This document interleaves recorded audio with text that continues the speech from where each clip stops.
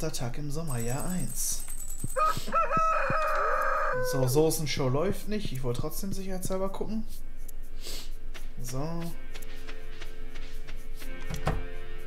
Ach, guck mal, sie ist schon am Malochen. Fleißig, fleißig, die Robin. Hallo und hallo. Moin. So, du alter kleiner Stinky-Hund. Oh, wir haben ein großes Ei. Ja, dann kommt großes Ei halt erstmal hier rein, ne? So. Mal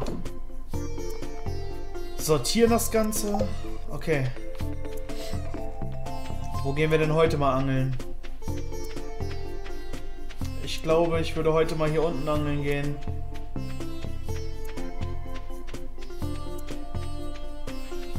Einfach weil, warum nicht? Äh, hier geht's lang. Genau. So.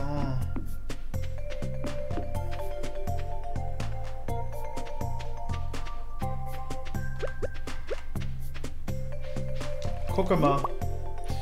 Gucke mal, was wir da gefunden haben. So. Ist nicht die beste Stelle zum Angeln, aber trotzdem möchte ich hier jetzt angeln. Einfach mal hier angeln und gut ist.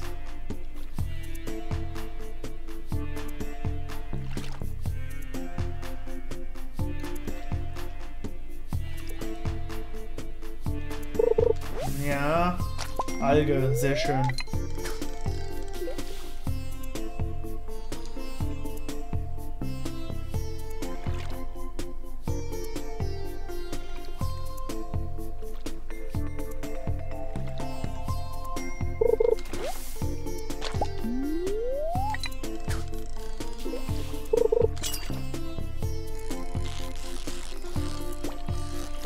So ein kleiner Trickser, wa? Der Fisch. Aber wir haben dich. Ein Hecht, 150 cm, neuer Rekord, sehr schön.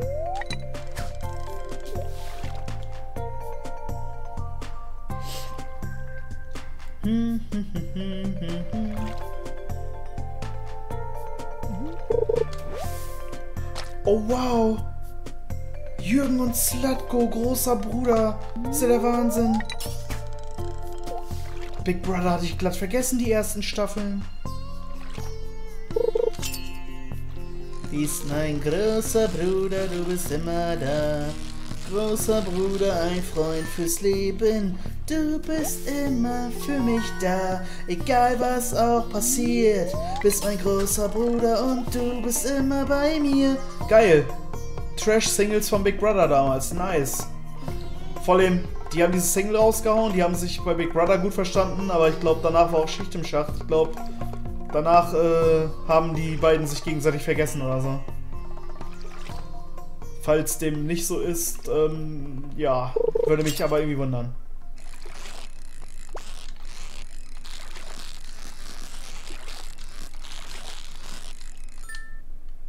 So.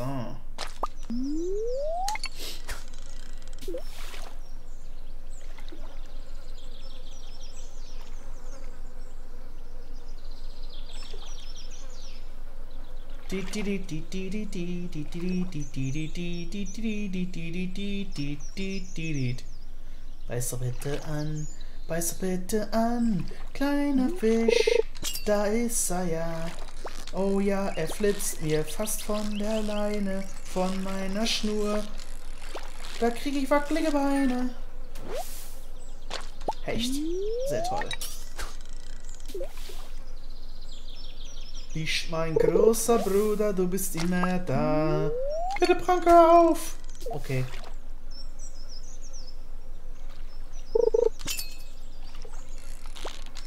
Ey, Freundchen.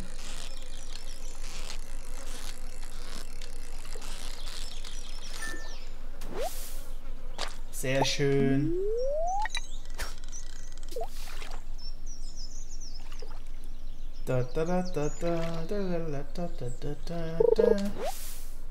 Grünalge.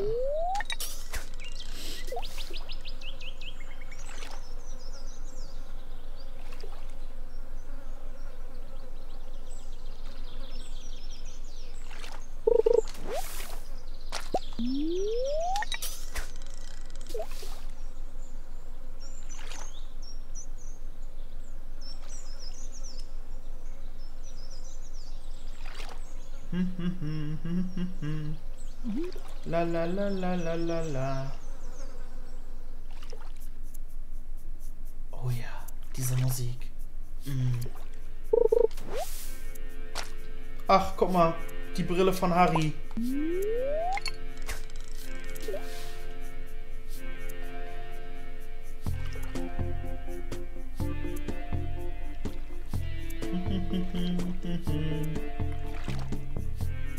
Ganz entspannt angeln. La la la la la.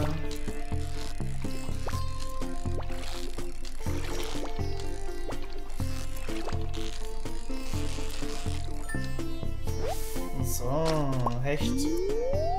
Geiler Hecht.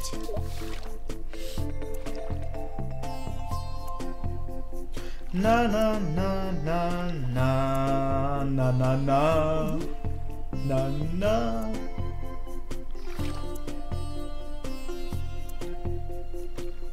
Tit tit tit tit tit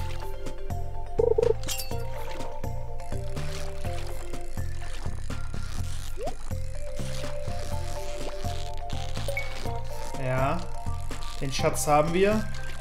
Ich frage mich allerdings schon gerade, wie viele fucking Schätze würden denn kommen, wenn wir die Option mit den Schätzen genommen hätten.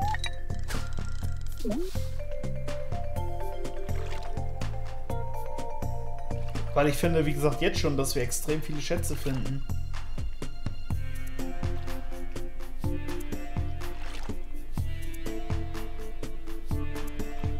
Das ist tatsächlich so mein Empfinden.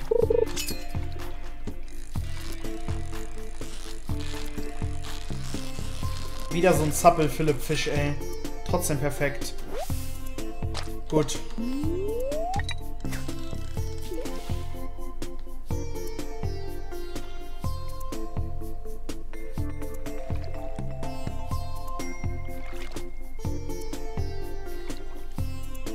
Mhm.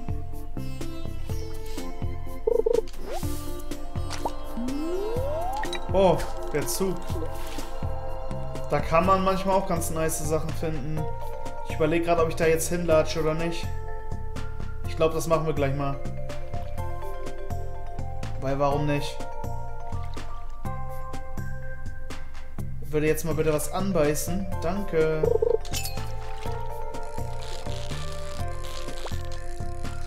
Und wieder so ein Zappel, Philipp. Ja, komm. Okay, gehen wir mal hoch zum Zug. Gehe ich denn jetzt am besten lang? Ich glaube über meine Farm.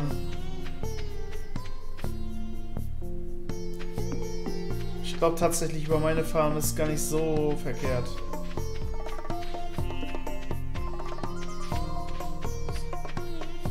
So. Ist das eine Muschel? Na. Tatsache.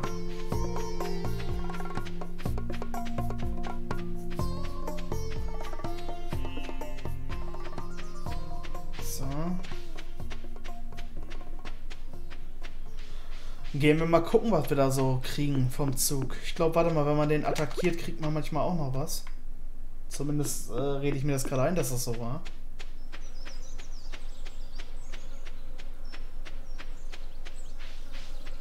Die ganzen Fliegen, ey. So.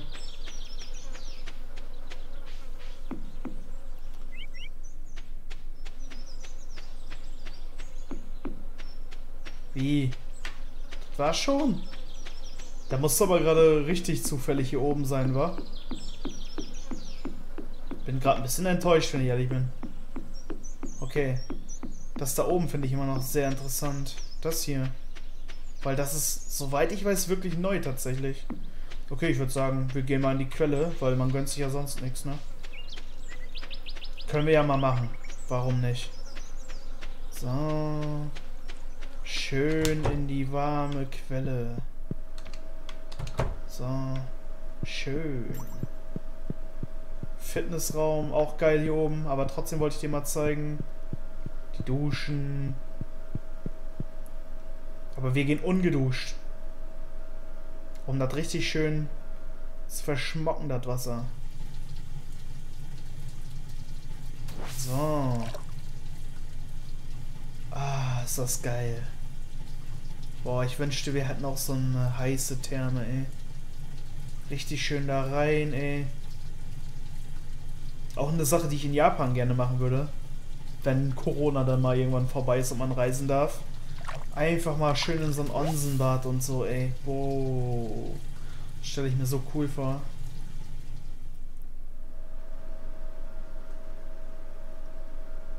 So, und wir sind wieder fruchtig frisch unterwegs. Da ich jetzt eh hier oben bin, würde ich auch hier oben angeln gehen.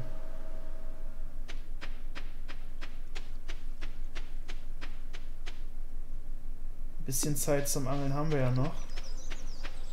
Moin Linus. Lange nicht gesprochen. Ich habe einen Riecher. Was? Reiher. Riecher. Ich lese einfach Riecher. Ich sage, heute bin ich komplett durch mit der Welt. Okay, ich habe einen Reiher. Grazil durch den Morgennebel stolzieren sehen. Das sind die Schätze eines stillen Lebens. Okay.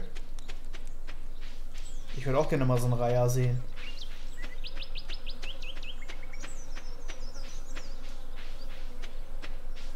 Einfach mal so einen kleinen Reiher. Why not? Und ich lese da echt Riecher, Alter. Was ist denn los heute? Sag ja, heute bin ich irgendwie... Irgendwie komplett durch den Wind. So. Der Fisch hat gar keine Lust, sich großartig zu wehren. Das gefällt mir aber ganz gut so. Hallo, Kaulbarsch.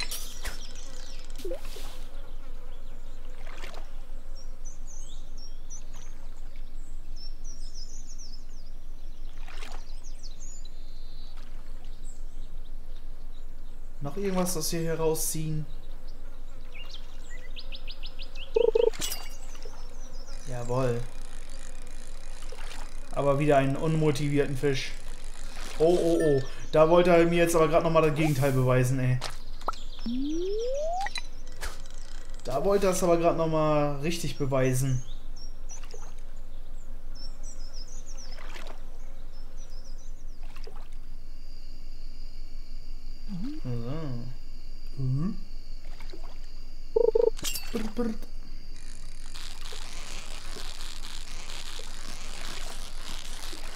Ganz entspannt. Zwergwels.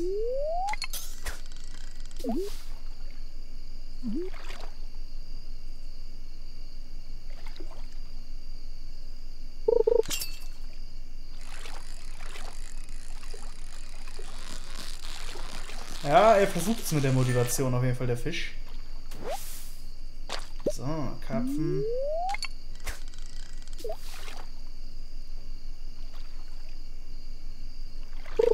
Ich frage mich, was die nächste Erweiterung für den Stall kostet. Sowohl finanziell wie auch materialmäßig.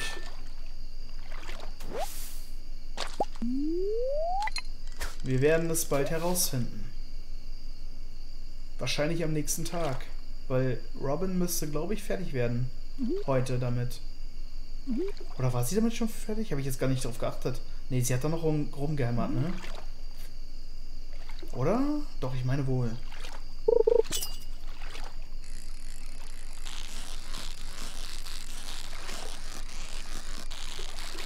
So, perfekto. Mhm.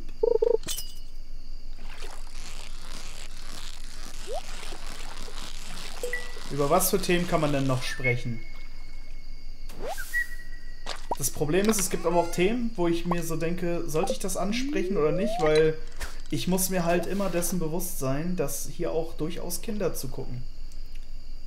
Weil ich würde zum Beispiel gerne ja, nennen wir es mal, äh, über das Thema Erwachsenen-Schauspieler und Spielerinnen reden.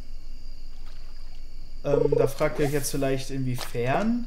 Ihr wisst genau, was ich meine. Diese Filme, wo sich Menschen gegenseitig lieb haben, wo die ein bisschen miteinander kuscheln und wo es halt auch mal manchmal ein bisschen ruppiger zur Sache gehen kann und so. Ähm, was ich mich halt immer frage ist, wie manche Menschen das sehen. Könntet ihr mit solchen Schauspielern eine Beziehung führen? Ja, nein? Ähm, und wenn ja, könntet ihr euch halt auch vorstellen, mit so einer Art Schauspieler Familie zu gründen? Das ist halt auch nochmal so eine Frage, die ich mir da stelle. Hm, die Sache ist die, ich denke mir, ich könnte mit so einer Person eine Beziehung führen, durchaus. Ähm, aber Kinder wiederum würde ich schwer finden. Und es gibt ja eine Menge erwachsenen Schauspieler, die aber auch Kinder haben. Aber ich finde das echt kompliziert, ne? Gerade bei einer US-Darstellerin, äh, da weiß ich, dass sie ein Kind hat. Ich glaube, einen Neunjährigen. Ja, das dauert nicht mehr lange, dann wird das Kind auch äh, irgendwie in Berührung kommen mit ihrer Filmografie. Vielleicht unfreiwillig. Und das ist doch extrem unangenehm. Und ich meine, selbst wenn das Kind nicht drauf stößt, dann werden es vielleicht Freunde tun. Und ich weiß nicht, das wäre zum Beispiel, das würde ich problematisch sehen. Ich meine, wenn man eine Beziehung mit ähm, so einem Schauspieler hat, okay. Ähm, aber sobald da Kinder ins Spiel kommen, finde ich es schon wieder kompliziert. Also ich würde das zum Beispiel kein Kind zumuten wollen. Irgendwie, dass der Vater oder die Mutter halt bekannt ist. Das, äh... Ja, ist komisch. Irgendwie möchte man das dem Kind nicht antun, denke ich mir. Andererseits, wenn jetzt... Ach shit, den Schatz bekommen oder nicht? Ich glaube nicht, oder? Doch. Okay, hat noch gereicht. Ähm... Ich meine, ich sag mal so, bevor die Mutter beispielsweise oder auch der Vater gar kein Geld nach Hause bringt, ist das natürlich eine super Alternative, vielleicht auch, wenn bereits Kinder da sind. Ähm, aber wie gesagt, man muss sich dessen bewusst sein. Oh fuck, ich habe nicht auf die Uhr geachtet. Oh oh, das wird knapp. Ähm, okay, es könnte das erste Mal sein, dass wir umkippen. Ähm, okay, schnell weg hier. Fuck. äh, jetzt habe ich mich festgelabert. Ah, auf jeden Fall, ja, ich finde das bedenklich mit Kindern. Ich meine, klar kann man seinen Kindern das erklären und so, bloß ähm, wenn ich mich in die Lage versetze, ich würde das jetzt nicht so toll finden, wenn ich da meine Mutter oder mein Vater irgendwie mal in so einem Film sehen würde. Das wäre irgendwie ganz komisch für mich. Vor allem, weil man sich auch bewusst sein muss, dass äh, ganz viele Menschen das sehr inspirierend finden und äh, sich daran sehr erfreuen. man merkt, ich umschreibe es, falls wirklich Kinder zu. Na, Kinder zu gucken. Ähm, ich glaube, ich verkaufe nichts. Ich gehe jetzt so ins Bett und sortiere das dann ein. Ähm, ja, scheiße, ich muss aber auch noch den Stall zu machen. Shit the fuck. Habe ich den überhaupt aufgemacht? Oh, ähm, war ich da überhaupt drin? Ja, war ich. Und Robin hämmert sich da immer noch einen ab. Hä, hä, hämmern, das passt auch ein bisschen zum Thema. Ähm, gut ja, wie gesagt, sobald da Kinder im Spiel sind, finde ich das ein bisschen schwer, weil man muss halt immer davon ausgehen, dass die Kinder da irgendwann drauf stoßen werden und das ist doch eigentlich eine unangenehme Situation, weil man würde ja auch nicht unbedingt wollen, gehe ich mal davon aus, dass die Kinder einen beim Schauspielern mit seinem Partner erwischen, weil das Drehbuch und so, ne, es ist, äh, ja, für, für Kinder unverständlich. Wie ich mich einfach um den heißen Brei schlängel. Okay. Hallo Paule. Danke für den Auftrag zur Stallerweiterung. Zusätzlich zum doppelten Platz im Stall habe ich mir erlaubt, dir noch ein, äh, einen Brutkasten einzubauen. Sehr schön. Lege einfach ein Ei hinein, um ihn zu benutzen. Wenn du Platz in deinen Stall frei hast, wird das Ei in einigen Tagen schlüpfen. Wie immer, danke für das Geschäft, Robin.